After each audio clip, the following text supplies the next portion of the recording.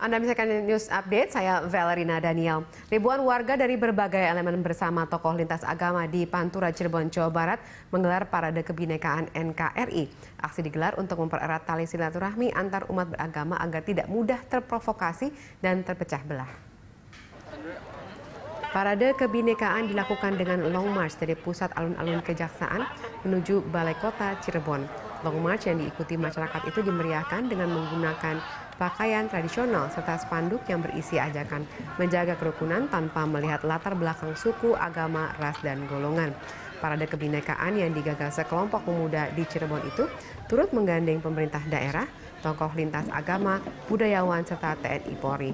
Masyarakat Pantura sepakat keutuhan negara kesatuan Republik Indonesia harus tetap dijaga dan masyarakat jangan mudah terprovokasi dengan isu agama yang ingin memecah belah bangsa. Ya, wayang Hanuman adalah lambang keperkasaan dan keberanian dalam situasi dan kondisi apa pun. Semoga dengan kegiatan seperti ini, Dewan kita adalah Nah, pada prinsipnya kita adalah acara ini memang Ayo, walaupun kita sengaja buat satu dengan dipegang bersama-sama. Itu menunjukkan persatuan hari kita. Hari pendidikan apa hari kebangkitan nasional.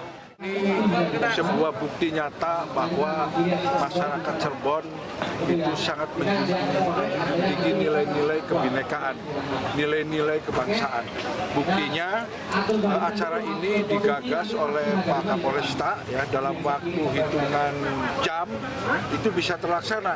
Ini terjadi akibat respon daripada masyarakat tentang eh, menjunjung tinggi kebinekaan.